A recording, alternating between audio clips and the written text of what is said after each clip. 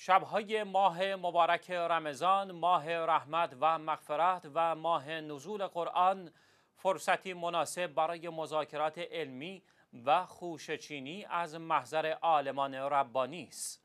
از این رو بیت مرجعیت شیعه آیت الله العظما شیرازی دامزلو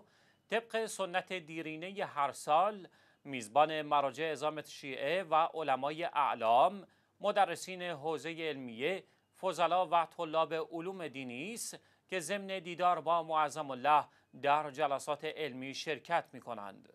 در این جلسات مباحث علمی و مسائل فقهی، اعتقادی، تاریخی و تفسیری مطرح می شود و مرجان قدر با ظرافت و تسلط و تبهر خاص موشکافانه به بررسی و تشریح موضوعات مطرح شده و پاسخ به سوالات حاضرین می‌پردازند و مباحث سنگین علمی را به صورت روان و آسان بیان میفرمایند.